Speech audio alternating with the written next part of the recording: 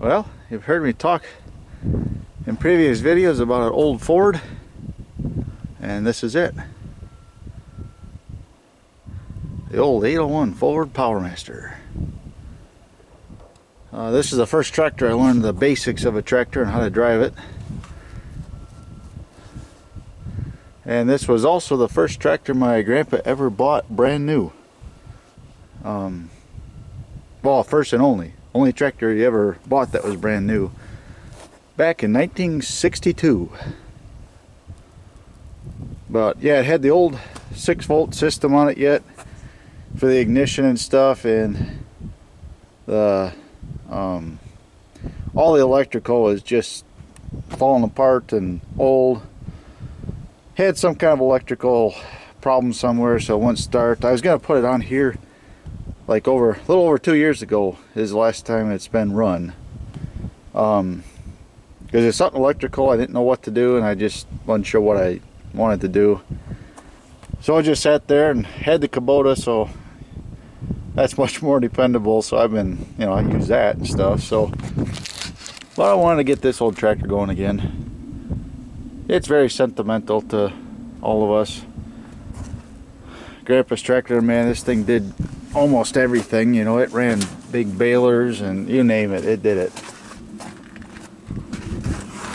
uh, and then I also replaced the starter switch there uh, the original one is all cracked and busted and instead of replacing that years and years ago, my grandpa, he was very clever, came up with this. Uh, this was a toggle switch. Now it's a key again. And then uh, he also rigged up a starter button right here. That's how he did it. You know, with these old tractors, you could do such a thing too.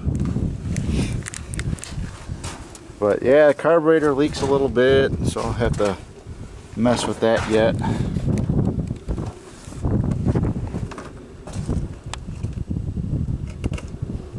nice guard in the front there.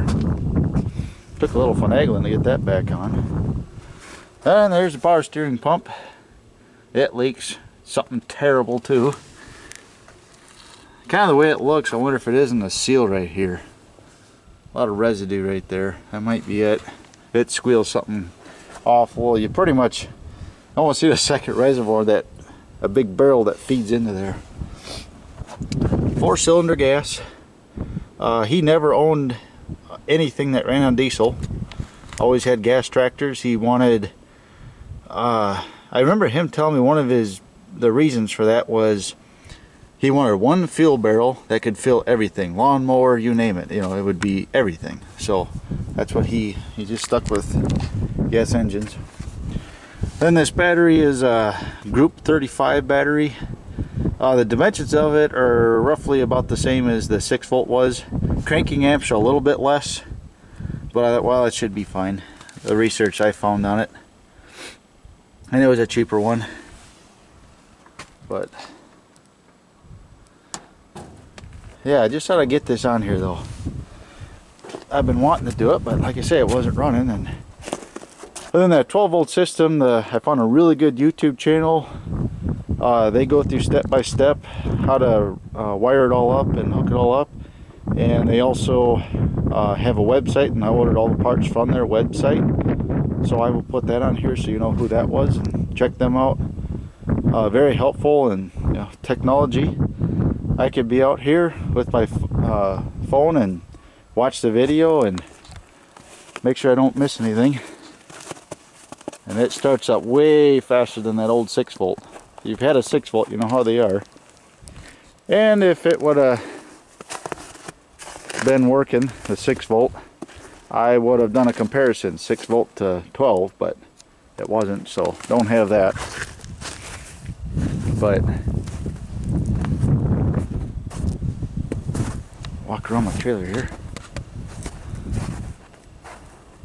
Just kind of a quick walk around.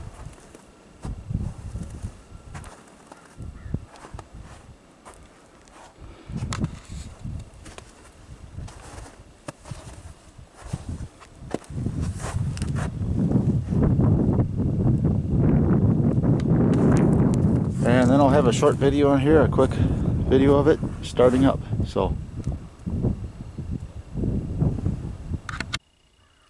Alrighty, let's start up this old tractor. I'll show you how fast it starts up now.